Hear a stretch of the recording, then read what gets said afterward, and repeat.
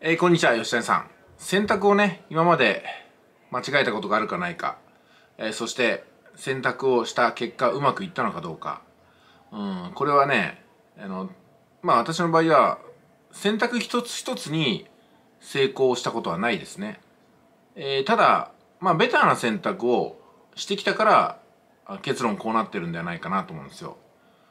つまり成功と失敗というふうにね、えー、二元管理した時に0ゲージ0が失敗100が成功だとしたらだいたい70とかね50とか40みたいな感じで選択のベターを設定するんじゃないかなと思うんですよ。そしてこんな言葉もあります。ある人が最善の選択をした時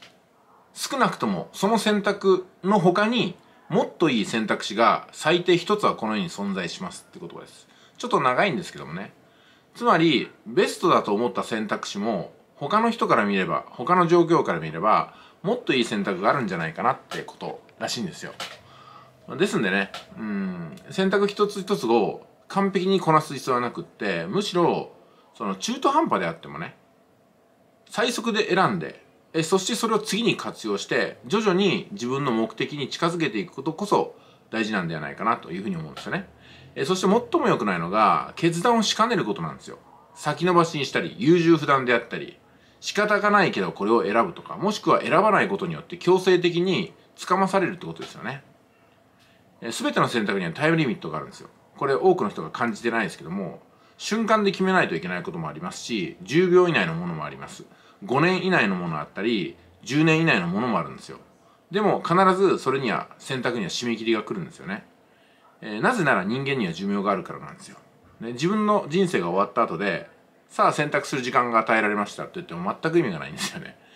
んで1日に人は、うん、2万個ぐらいの選択をして生きてるとも言われます。まあ、このね2万個っていう説は時において1700と言われたり30万と言われたりするんですけども今回は2万個の選択が1日の間にあるとします。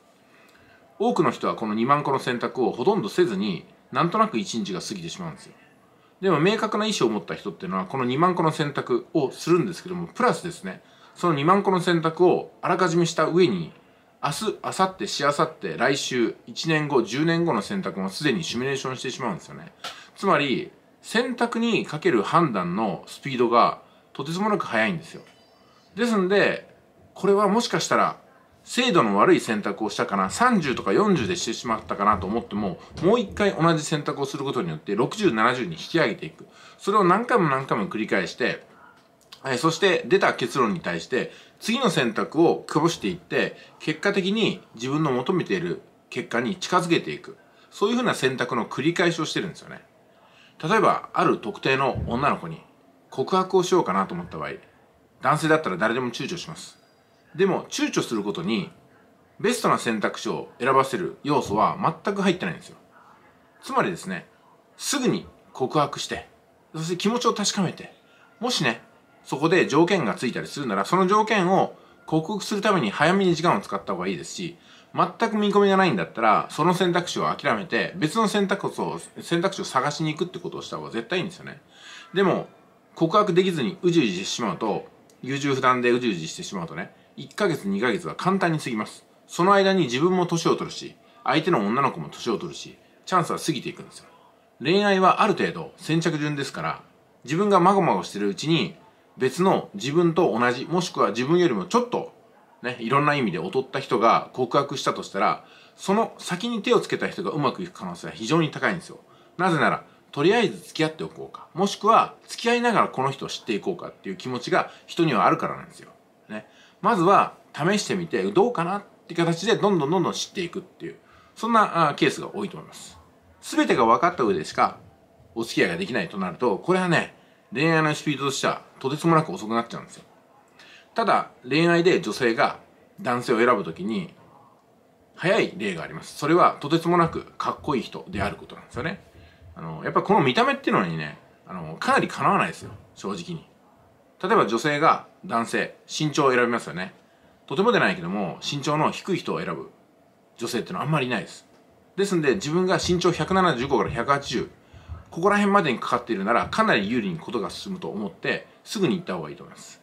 ある程度の身長があれば実はね全体的なスタイルはよく見えるんですよ。もちろんほとんどの女性の方は、だらしなくデブになっちゃった男性嫌いですからね。ですんで中肉中背で多少ちょっと筋肉質まあこんな感じですよね、まあ、そうすると本能的にも理性的にもその男性を選ぶ可能性は非常に高いんですよ、まあ、ですんで躊躇する暇があるんだったらその体型を作ってその時間を費やすということが成功の要素としてはかなり高めの設定になるんではないかなと思います。要するに選択の精度が70とか80になっていくってことなんですよね。で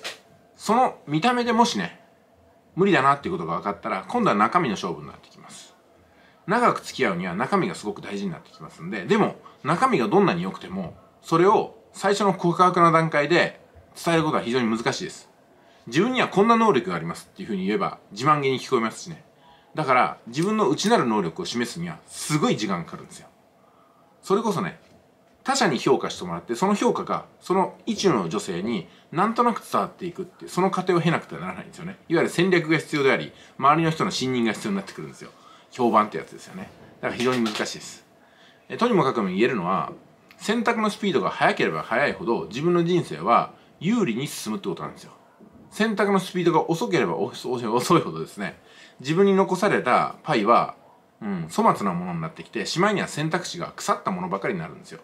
この辺食品に例えると本当に分かりやすいんですけどもいつまでたっても食卓に手を出せない人っていうのはそれがね最初は朝食で出ていたのに昼食の時間までごねちゃうと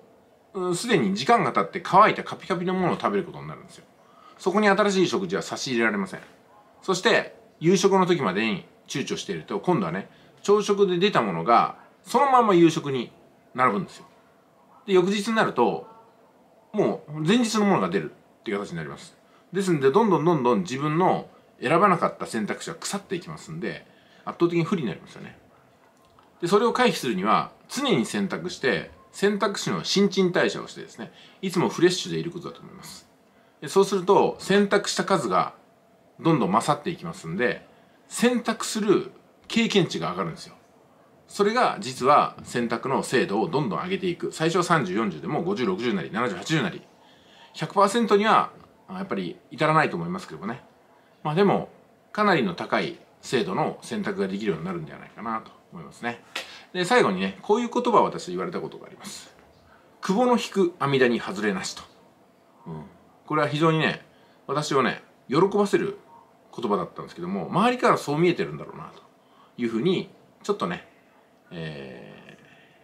ー、嬉しかった覚えがありますけどもその真意はと聞くとなんだちょっと待てよっていう話になりました。それはですね私はどんな選択をしても結果的に自分の求めたところにどんどんどんどん手繰り寄せていく。その辻褄合わせるのが上手だってことらしいんですよ。ね。まあですんでね選択をした瞬間は大したあ決断ではなくても最終的に選択と決断を繰り返すがゆえに結果的に自分の求めていたものに非常に近い近似値になるということだと私は捉えてますけどね。それではいってらっしゃい。